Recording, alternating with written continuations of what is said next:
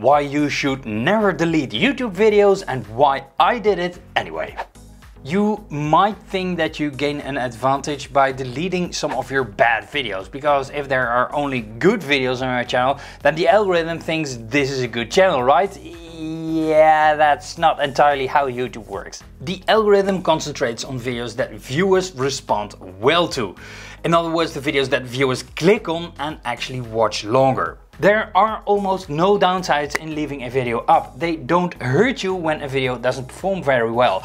And every view is still a view and every video on your channel is still an opportunity to get views and subscribers. Also videos that are not doing well now can suddenly pop up out of nowhere and all of a sudden can become one of your best performing videos on the channel. That happened to me a couple of times. Imagine that you deleted the video before it went viral. Ouch! When you have a copyright strike or a copyright claim on a video, deleting a video won't resolve the strike or the claim. In that case, make the video private or unlisted so you can resolve the claim or strike when it is not valid. But when it's a valid strike, you should definitely delete the video before you land in court. And I'm curious to hear from you why you want to delete your video in the first place. Let me know in the comments below. Some of the questions that you ask me regularly when it comes to deleting videos. Do you lose money when I delete a YouTube video? Well, I tested it. No, you don't. Advertisers already paid, viewers already saw the ad, viewers clicked already on the ad, so the transaction when it comes to the ads in the eyes of YouTube is completed. But logically, when you delete a video, yeah, that video hasn't got the ability to earn more money from ads.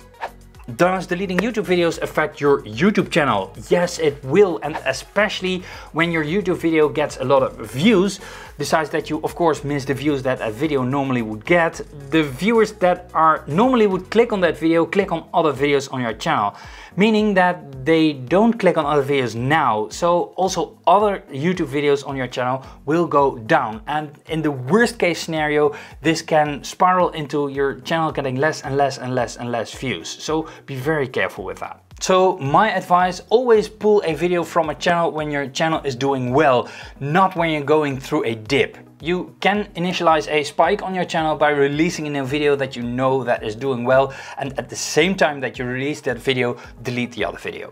Also, deleting videos is deleting watch time and watch time is ranking juice. So you basically delete ranking juice from your channel and especially when the video did very well, you basically delete the ranking juice that you gained with that video. Also, watch time is one of the monetization thresholds, meaning that if you're up for monetization, you basically delete watch time and it can take you longer before you can get monetized. If you doubt if you should delete a video or not, then I would say put it to private or unlisted instead of deleting it. This way, if you change your mind, you can always put the video back up again and the reputation of that video is still intact. So all your views and all your watch time. When you have links to the video that you want to delete, for example, you embedded it in a website or it is an end screen link on one of your end screens, then I would say put it to unlisted instead of private. This way viewers can still click the link and watch the video instead of having a dead link and having a dead video, dead website. In this video, I've told you from the start that you shouldn't delete a video, but um, now I'm gonna tell you why you should delete a video. If a video hurts you. For example, if it attracts the wrong audience. In my case, I'm getting a lot of views from India and I'm talking about India now, but it can be any other target audience. For example, a young audience from 18 to 25 or only boys or only girls, for example the YouTube algorithm starts to think that my main audience is India and therefore starts to promote my videos to a bigger Indian audience. This causes me four problems. First of all, my core content. The videos that I deleted are not my core content. In other words, viewers subscribe to content that they don't get on my channel. In other words, YouTube the YouTube algorithm sees this as a bad signal. Viewers subscribe, don't return. In other words, it will hurt my future promotion on videos. My second problem, the average view duration of my Indian audience is terrible. And I mean that literally it is one of the worst in the entire world. And the same is true for a young audience, by the way. So the algorithm thinks that the viewers that do watch my videos don't watch my videos for long. So it thinks that my content is bad and therefore won't promote the videos any further. My third problem, and I hate to admit it, is an economic one, which also applies to a young audience, by the way.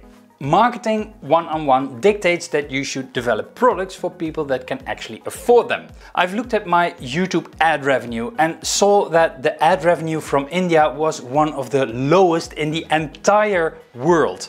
I also looked at the sales of my digital products and the total amount of sales from India were exactly zero rounded up. This isn't a sustainable business model, especially when the YouTube algorithm thinks that this is my target audience. My fourth problem is legality. Every time when someone steals my website, my content, my YouTube videos or my name, it is 9 out of 10 times an Indian creator.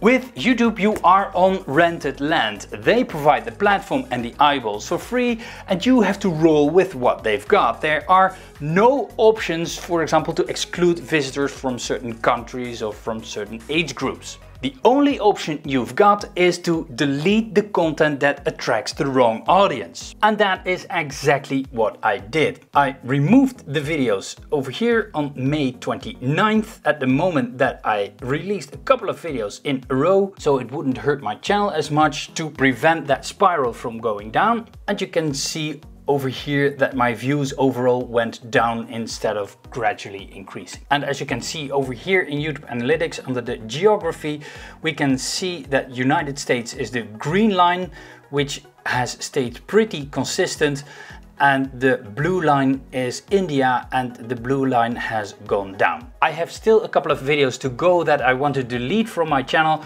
but I don't want to do it all at once again to prevent that spiral from going down and down and down and down when it comes to views. So what should you do? Well, that depends entirely on your audience. Does the videos that you want to delete attract the right audience, yes or no? If yes, then keep the videos up. If no, then delete the videos or make them unlisted or private.